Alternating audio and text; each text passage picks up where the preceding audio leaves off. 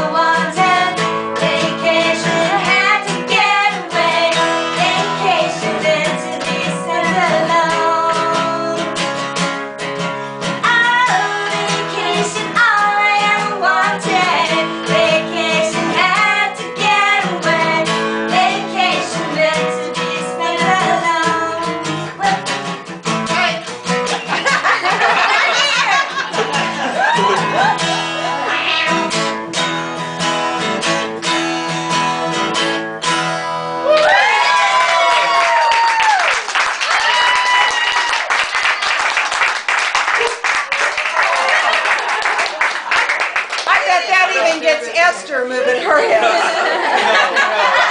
Not by the woman that wrote it. Satan's music. Uh, yeah.